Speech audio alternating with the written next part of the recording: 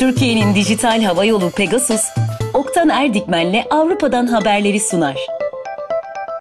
12 Temmuz 2024 Cuma ben Oktan Erdikmen. Avrupa'dan haberlere hoş geldiniz. ABD ordusunun Almanya'ya uzun menzilli seyir füzesi yerleştireceğinin açıklanması siyasette bomba etkisi yarattı. Amaç Rusya'yı caydırmak. Savunma Bakanı Pistorius, Rusya ile aynı kapasitede olmamız lazım dedi. Ancak böyle yapınca caydırmaktan ziyade provoke etmiş de olabiliyorsunuz. Bir de kapasite zaten bize ait değil. Elin kapasitesiyle caydırıcılık ne kadar olur? Yarın Trump seçilirse ne yaparız kimse bilmiyor.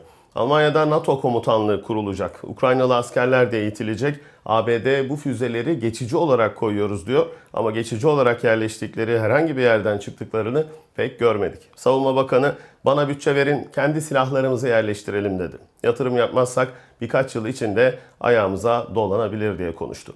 Başbakan Scholz ise anlaşmanın çok iyi olduğunu savundu. Zaten kendisi yapmıştı. SPD'nin yarısı destek verdi, yarısı karşı çıktı. Yeşiller kararın duyurulma şeklini eleştirdi, açıklama beklediğini belirtti. Hükümet ortağı FDP karardan son derece memnun kalırken CDU-CSU grubu da iyi ve olumlu bir işaret olarak buldu. En sert karşı çıkan isim ise Zara Wagenknecht oldu. Funke Medya'ya yaptığı açıklamada bu füzeler bizi korumaya hizmet etmiyor. Aksine ülkemizi potansiyel hedef haline getirip bizi tehlikeye atıyor. Yeni silahlanma yarışına ihtiyacımız yok dedi. ABD'nin güvenli mesafede olduğunu, büyük bir Avrupa savaşının beklenebileceğini, bunun da Almanya'daki ve Avrupa'daki insanlar için yıkıcı olacağını savundu. Kararı Sol Parti de sorunlu buldu. Caydırma adı altında silahlanma sarmalı büyümeye devam eder uyarısını yaptı. Scholz'un Almanya'nın çıkarlarına hizmet etmediğini ileri sürdü. Aşırı sağcı AFD de kararı eleştirdi. Almanya'nın hedef haline geldiğini savundu.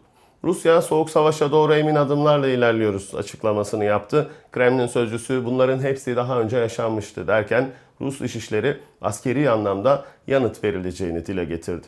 Ukrayna lideri Zelenski ABD'yi ziyaret etti. Kendisini kürsüye davet eden Başkan Biden yanlışlıkla Başkan Putin'i davet ediyorum deyince gülüşmelere neden oldu.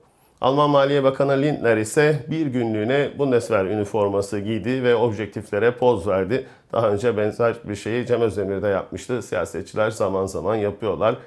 Lindner rezerv asker olarak hava kuvvetlerinde tatbikatlara katılıyormuş. Liberal Parti'nin lideri savaş çıksa en başta kaçanlar genelde liberaller oluyor. Poz vermek kolay, zor olan cephede ölmek. ABD istihbaratı Rusya'nın Alman silah şirketi Rheinmetall'in genel müdürüne suikast planladığını açıkladı ve Almanya'yı uyardı. Koruma önlemleri arttırıldı. Siyaset kulislerinde ise CDU-CSU ile Yeşiller arasında gizli bir ittifak kurulduğu iddiaları var.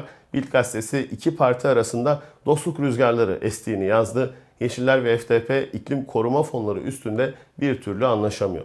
Hessen eyaleti pazar günü dükkan açma yasağını yumuşatıyor. 120 metrekareye kadar olan işçi çalıştırmayan tam otomatik otomasyon marketler pazar günleri de açık olabilecekler. Sadece günlük ihtiyaçlar satılacak o gün. FTP mağazaların tamamının açılmasını istiyor. Şehir merkezindeki mağazaların sendikalar ve kiliselerse karara tepkili.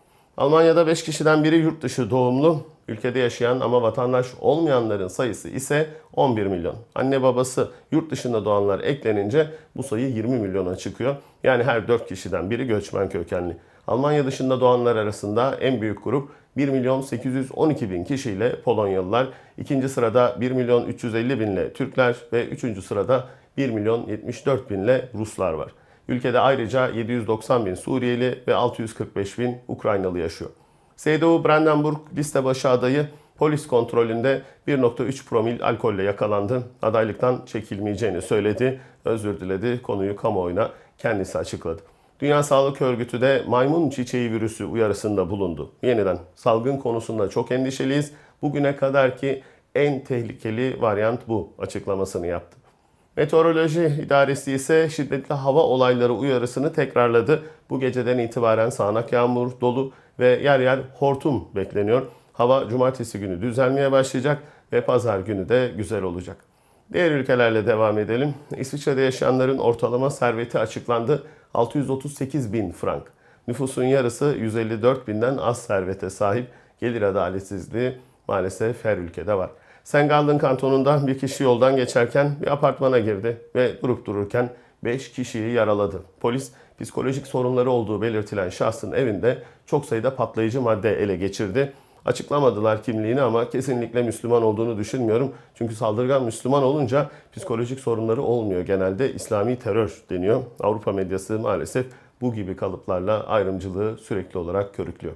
Hollanda'nın nüfusu 18 milyona ulaştı. Konya kadar da yüz ölçümü var. İstanbul kadar nüfusu var. Ama Türkiye'nin 3 katından fazla ihracat yapmayı başarıyorlar. Çünkü bilime çok iyi e, inanıyorlar ve bilimsel temelde çalışıyorlar. Avusturya Anayasa Mahkemesi ise Afganistan'a sınır dışılara onay verdi. 2 yıl öncesine kadar mahkemeler Afganistan'a sınır dışı izni vermiyordu. Bu çok kritik bir değişiklik oldu. Fransa'da da seçimler tartışılıyor. Her 10 kişiden biri sonuçlardan memnun değil. Aşırı sağcılar anketlerde birinciydi ama üçüncü olabildiler çünkü insanlar son dakika sandığa gitti. Macron sol cepheye ısrarla hükümeti kurma görevini vermiyor. Gerçi onlar da ortak bir başbakan adayı çıkaramadılar. Hala tartışıyorlar. Orhan Veli sol elim demişti. Acemi elim, zavallı elim. Manş Denizi'nde ise bir göçmen teknesi battı. Maalesef 4 kişi hayatını kaybetti. 63 kişi kurtarıldı. Her sene binlerce kişi burada hayatını kaybediyor. Belçika'nın başkenti Brüksel'i de şiddetli yağış ve fırtına vurdu. Ulaşım büyük ölçüde aksadı. Çok sayıda trafik kazası meydana geldi. Belçika'da trafikte kaza yapıp kaçanların oranı da %9 arttı. 8 kazadan birinin sorumlusu olay yerinden kaçıyor. Ancak sonra %87'si yakalanıyor. Türkiye'de her yerde kamera olduğu için neredeyse tamamı yakalanıyor. Dünyanın en büyük suçunu da işleseniz, olay yerinden, kaza yerinden kaçmak yapabileceğiniz en kötü şey. 4 yıla kadar ayrıca hapisle yargılanabilirsiniz. Pişmanlıktan yararlanmanız imkansıza yakın olur. Hemen ambulansa haber verip eğer yaralı varsa yardım etmek gerekir. Aklınızın bir köşesinde bulunsun. Allah korusun ama ne olur ne olmaz hayatta her şey hepimizin başına gelebilir, yakınlarımızın başına gelebilir. Kimseyi kınamamak lazım. Başına gelmeden ölmezsin kınarsan.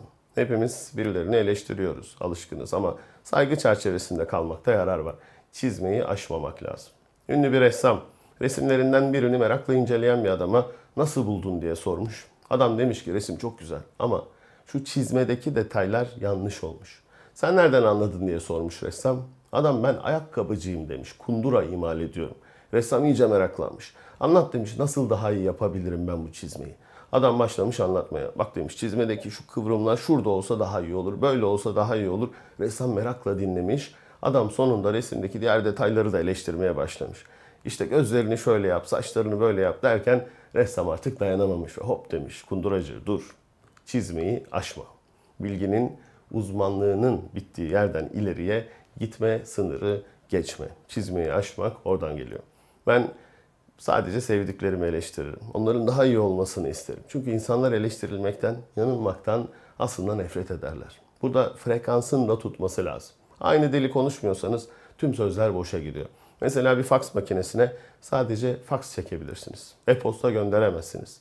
Karşılıklı kodlar uyuşursa karşı taraf sizi anlar. Aksi halde yapacağınız en küçük bir eleştiri aman beni çekemiyor, beni kıskanıyor diye sonuçlanır. Bu korku ya da endişe değil, çıkarcılık hiç değil. Sadece ve sadece insana belli bir yaştan sonra gelen, söylesem nasılsa tesiri olmayacak, e bari kendimi boşa yormayayım diye bir umarsızlık. İnsan bunu Ruhi Bey gibi bir semte benzediğinde anlıyor. Kedilerden örülmüş bir semte. Oyundan atılmaktan korkmayan bir oyuncu gibi. Boş vermiş de sanki oyunun kurallarına. Üstelik son bölümde perdenin kapanmasına azıcık vakit kalmış. Ya da vakit var daha. Ama ne çıkar. Hoşçakalın. Pegasus olarak Türkiye'nin dört bir yanına kolayca ulaşın diye 19 yıldır yanınızdayız. Türkiye'nin dijital hava yolu Pegasus, Oktan Erdikmen'le Avrupa'dan haberleri sundu.